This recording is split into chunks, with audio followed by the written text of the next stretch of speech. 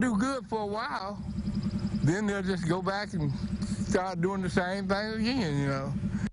We'll keep you updated on that breaking news at KARK.com. But concern is growing over a busy intersection in the Hensley community, and it's costing people their time but possibly more importantly, a sense of security. Thanks for joining us at 10. I'm Bob Clausen. And I'm Ashley Katz. People say they're tired of the trains constantly blocking roads at the intersection of North Cedar Street and Hensley Road. That's near State Highway 365.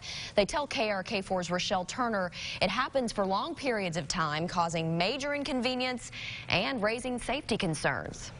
That's exactly right, Bob and Ashley. Good afternoon to you. This isn't the first time we've spoken to people in the small town of Hensley. We first told you about this problem back in March where people had to sleep in their car for almost seven hours because the train just stops on the tracks. Now, Union Pacific tells me that severe weather and flooding has impacted operations, causing delays, and people say they've had enough.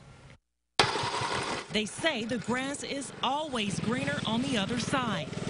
It's a good community. A community Roy Rogers has called home since 1963. We still got a lot of good people that live in here.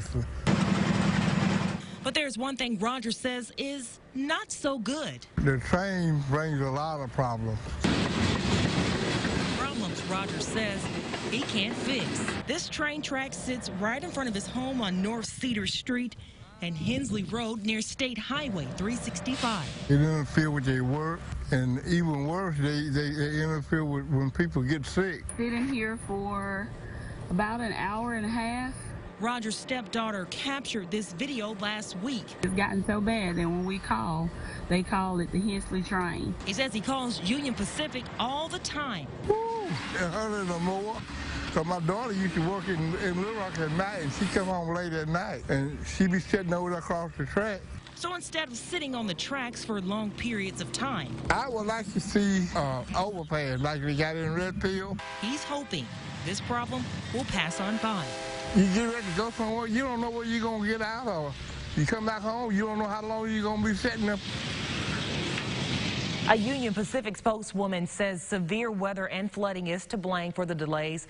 The company says it's frustrating for drivers to wait at a blocked crossing, and they do apologize. Back to you.